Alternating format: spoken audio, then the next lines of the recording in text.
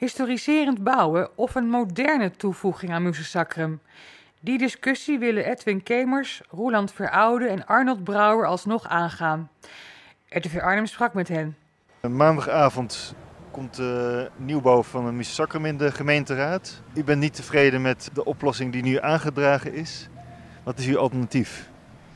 Nou, het alternatief is dat wij eerst maar eens uh, moeten gaan herbezinnen op wat we nu eigenlijk willen in Arnhem. Alle Arnhemmers uh, hebben iets met Musensacrum en we moeten ook de Arnhemmers daarbij betrekken. En dat is tot nu toe niet gebeurd. Het is echt een uh, falikante mislukking die we weer aan het maken zijn of willen gaan bouwen. Of we, dat is dan het college van BMW. En dat zullen we moeten voorkomen. Waarom bent u zo tegen die nieuwe glazen aanbouw aan de achterkant van het Muses?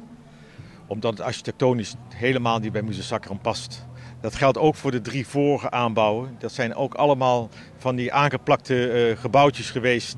Van uh, er moet iets achter muzen staan, dus we zetten er iets achter. Dit zou dan de vierde worden. En over tien jaar moeten we die vierde opnieuw afbreken, omdat we er niet tevreden over zijn. Dan zou ik zeggen, of uh, doe nou eindelijk eens een keer goed. En restaureer Muses, wat de Arnhemmers ook al hebben uitgesproken, in zijn oude volle glorie. Dat zou het allermooiste zijn. Of bouw iets in, uh, in een kleinere aangepaste sfeer. Zodat je dus echt een mooi oud Musensacrum hebt. Zonder lelijke aanbouw. Organiseer een referendum. Of als dat te veel werk is, een uitgebreide representatieve peiling. Dat kan. Dan heb je ook een beeld als stadsbestuur van wat de Arnhemmers vinden en wat de Arnhemmers erover denken. Waarom bent u tegen het plan van een nieuwe aanbouw bij Musensacrum? Musensacrum is een prachtig uh, gebouw uh, geweest, maar op dit moment zie je al dat de, de derde en de tweede uh, aanbouw worden gesloopt.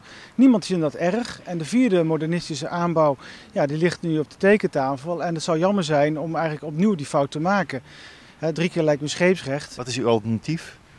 Als er nou echt behoefte is aan een grote zaal en er is ook voldoende middelen voor, historisch bouwen, dat het eigenlijk op elkaar aansluit. Het is ook heel belangrijk om uh, op die manier uh, weer de stad weer een beetje aan te helen, zo hier aan de singels.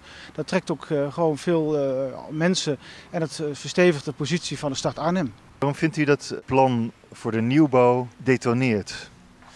Nou, omdat het in uh, alle aspecten uh, past het niet bij het bestaande gebouw. Een simplistische vormgeving, het is van een heel ander materiaalgebruik. De zaal is ook heel erg groot die ze nu bij willen zetten. En de vormgeving daarom is ook heel erg groot. Ze willen daarmee een totaal een verschil maken met de bestaande gebouwen. Ze, ze maken eigenlijk een soort vliegtuighangar of een omgekeerde badkuip. Ja, op zo'n manier krijg je een soort visuele rommel, visuele chaos, waardoor ja, er geen eenheid meer is. Ik zou het zelf, ik heb er al eens een tekening van gemaakt, dat heb ik ook in de Gelderlanden gepubliceerd, uh, ergens in september 2014. En ik heb het echt volledig helemaal in stijl gedaan. Daar heb ik hier ook een tekeningetje van bij. Het zou natuurlijk ook in iets minder letterlijke zin kunnen, maar dat het in ieder geval een geheel lijkt. En dat is, dat is toch een, uh, esthetisch is dat wel te maken. Dat, is wel, dat lukt wel. Het hoeft niet per se zo afwijkend.